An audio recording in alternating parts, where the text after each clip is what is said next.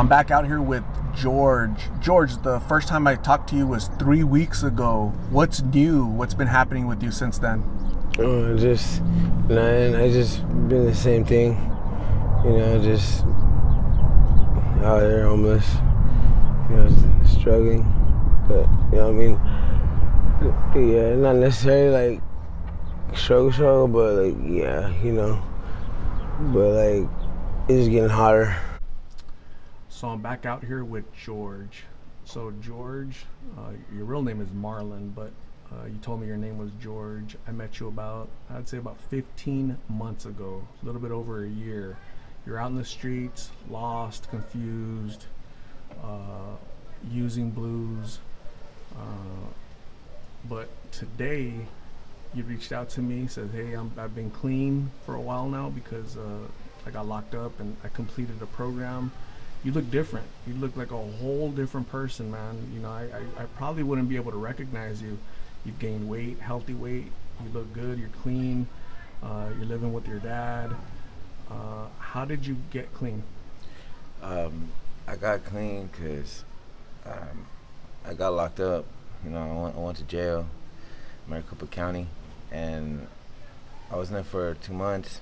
My lawyer got me out. She said um, I have to do a program for three months and if I don't do that program, I go to prison for three years. So you know I ain't stupid, so I did the program. And as I, as I was in jail, I was I kept praying to the Lord. You know, I'm like I'm sick and tired of this life. Like I just finally hit me. I'm like, oh, I, I, I don't want to do this. You know, I, I gotta I gotta get right. I gave my life to Jesus Christ. I prayed, and then He got me out. I got in the program, and I I I learned like I'm learning life skills, life and life, how to deal with life and life's terms. I'm um, I'm focused and motivated, open-minded, humble. I um, I pray, pray to the Lord to help me out with these things. And um, I just graduated the program uh, just last week, and I um, I just I just didn't like being out there in the heat. I don't like doing those drugs. I just wanted change. I really want change. I don't even feel urges like I feel urges like I used to before. Like I went to the other program. I was talking about another video. I got into with my Theo, and I really wanted. I really wanted change that time too. I really wanted change, and you know I was doing I had to do. It was, you know, to do what I want to do, you know, and the next thing you know like like got into it. I was I wasn't I didn't know what I didn't I didn't know what I knew in this program that I just graduated. You know, to, to fight against those thoughts, to, keep moving forward, and I just let it get to me, and I left, and then those urges. I was on a bus leaving that program. Those urges were like hitting me, and I was weak, and then I just went to using but this time I went to this new program, and then now the urges that I have, I was like, damn, I fight against those. I deal with it. I know how to um, get get out of those um, urges to not go back to that life, and it works. It really works. And I just I use the ABC of emotion. I graduated from the Ebony House. You know, that's my certificate right here. And I um I'm just really happy that you know I'm moving forward, getting a job pretty soon.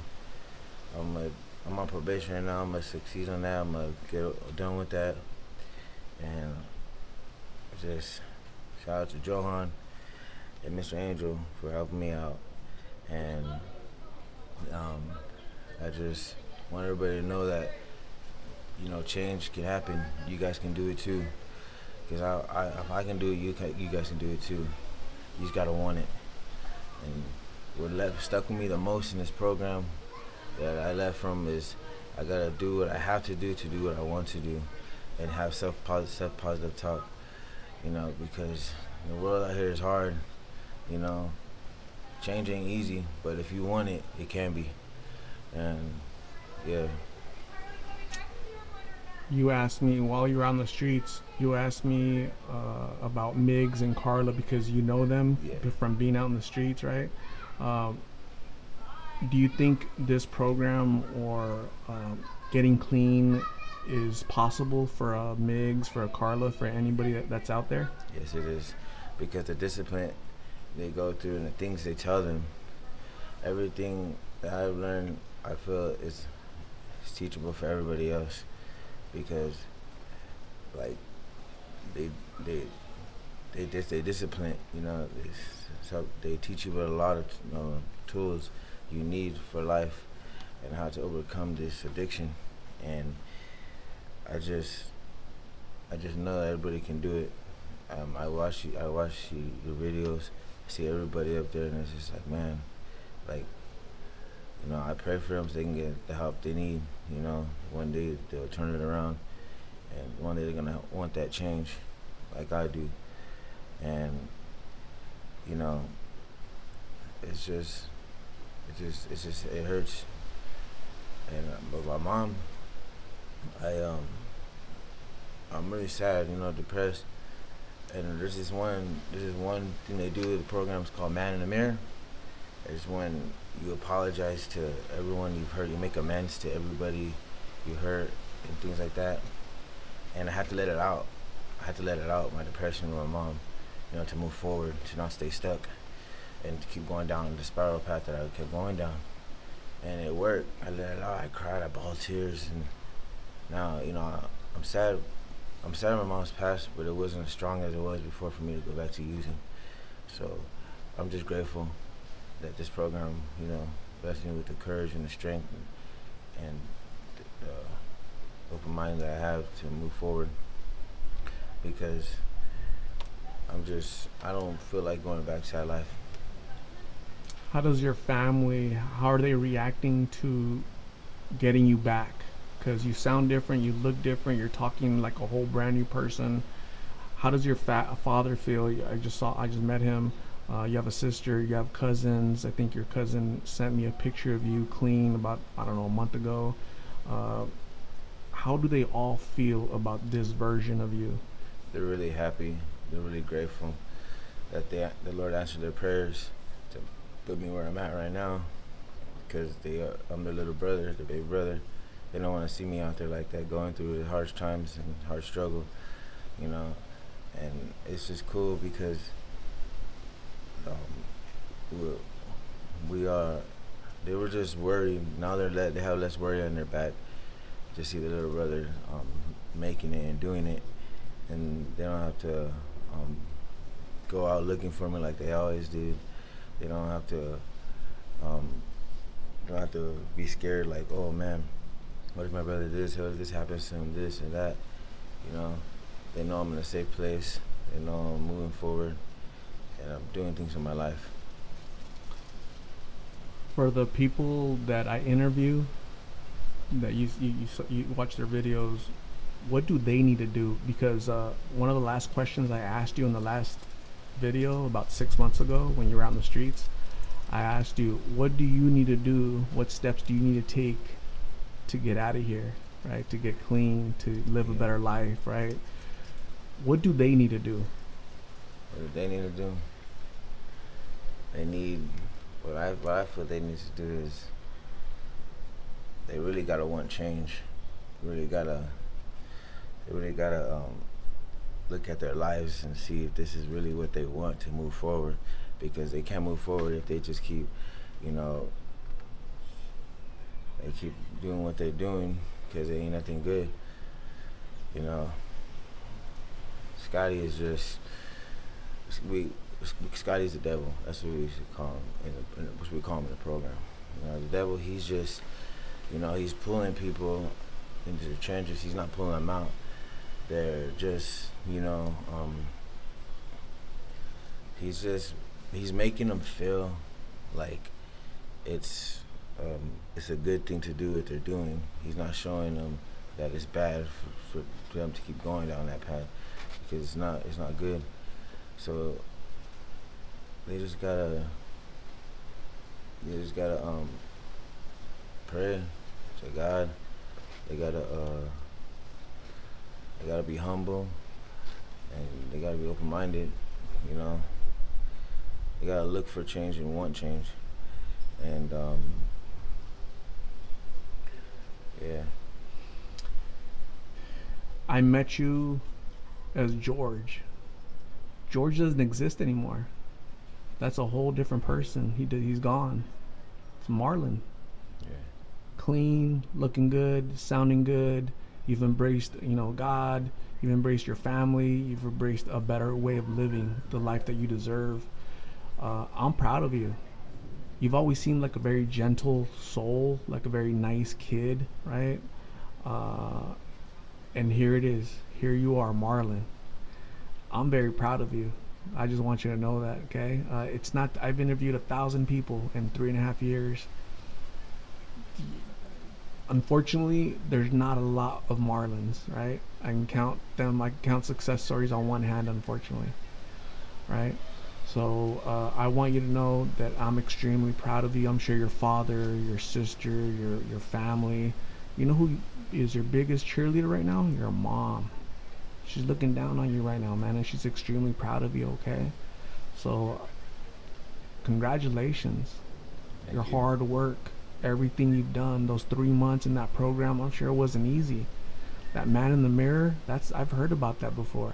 That's not easy. Cause you got to get down on your knees and say, God, I'm I'm done with this, right? Yeah. You have to let it all out, right? Mhm. All everything out and you sound like you're you're excited for the next chapter in your life, man. Right? Yeah. Oh, a job, uh, your own place, a car, and, and the American American dream, man. Um, thank you very much for calling me. Let's stay in touch, okay? Uh, you you've communicated to me. Uh, here we are, uh, a little reunion, me and you, and this is gonna help other people out there damn, recovery is possible. Right? Because they're going to look at the George videos and they're going to look at this Marlon video. Two different people. You know? There's hope in recovery. You just have to want it. You wanted it. You're done with it. You're sick of that life, right? You're just Yeah. absolutely sick of it. So, the places I've interviewed you, you know, the few times I interviewed you, they're still there. Those people, they're still out there. I just talked to Migs today. He's still out there. He went through a program. He didn't want it. He really didn't want it. He was doing the program because he was forced to do it, just the way you were forced to do it. But somewhere along, along the line, Marlon came out and said, "You know what? I really do want this. I don't want to go back." Um, let's stay in contact. Okay, let's stay. Let's keep, talking. Let's keep looking at your progress, and and and and, and uh, I'm so glad that you made it. Okay, I'm I'm extremely proud that you made it. Um, any last words for uh, the people out there? I just want you guys to know that you guys can do it. Don't give up. And if you if you're in a program or you get forced in a program, just look at it like a blessing. Look at it look look at it like, okay, I'm here in this program like you're sober and you're clean and you're in that mindset where you can know if it's good for you to keep moving forward. Look at look at your past and see, do you really want that? Look at now and be like, man, I can if I get right, I can do so much with my life. I can get a job, I can get a house, I can get a car, I can do so much things. You know, I really want that. Keep talking about that. Self positive talk to yourself. Tell yourself you can do it. Want change. Put effort in change. Put effort in what you do in life to, about change. Don't give up on your life because it, it matters. You mean something. A lot of don't think a lot of people don't care about you. A lot of people care about you. You know, work the twelve steps. You know, be strong minded, open minded. Don't give up because giving up is you're letting the devil win. Don't let him win. Keep moving to the righteous side, the right side. Jesus Christ, he's he he'll help you. He's always there for you. If you don't think he's there for you, he he's there for you. No matter what, Jesus Christ is there for you. Keep praying to him. He'll answer your prayers. He'll show you the way. He'll show you if you want change. He's gonna he's gonna guide you the right way you need. Just be strong, motivated, keep pushing, don't give up. Because that's what the devil wants. And with that, I pass. Amen, brother. Thank you very much, Marlon. We'll talk soon. Okay. Okay.